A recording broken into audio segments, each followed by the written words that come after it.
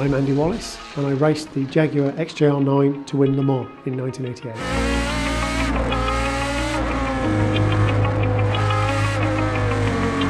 Endurance cars need to be able to operate in all temperatures and all conditions and most importantly for 24 hours.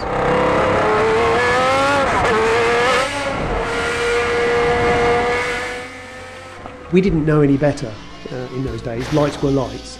But to travel at that speed, you're not using the lights to see the road, to see where you're going, if that sounds a little bit crazy.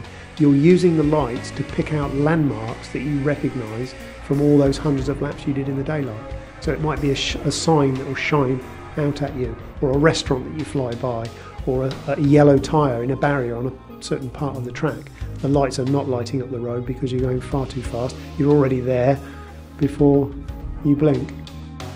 Imagine what we could see with today's technology.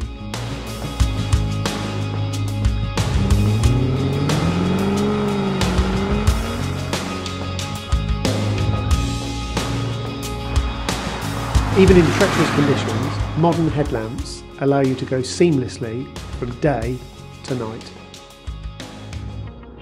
Modern lights are incredible. They adapt to the corners and the LED lights allow you to see 400 metres into the distance. It's just like having daylight in front of me and that's exactly what you want.